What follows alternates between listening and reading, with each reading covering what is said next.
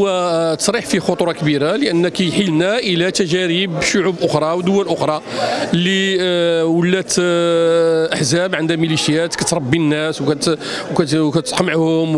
وهذا خطير جدا اذا كان هذا هو الفكره اللي كاين ان العداله ماشي مهمتها هذه مهمه العداله اذا الناس خرجوا على القانون بشكل من الاشكال راه كاين هناك قضاء هذا هو المفروض ولكن كون آه، امين عام ديال الحزب يقول ان بغض النظر خارج المتابعات القضائيه الرسائل اللي يمكن تكون ان المغاربه يوليو ياخذوا حقهم بيدهم من بعض من بعض الناس انا كنعتقل فيها خطوره لانك بحال اللي قلت كتحيل لنا هذه المساله ديال الاحزاب عندها واحد النوع ديال الاحزاب اللي نتمنى اننا ما نوصلوش بلادنا يكون احزاب عندها ميليشيات اللي تربي عباد الله في الزنقه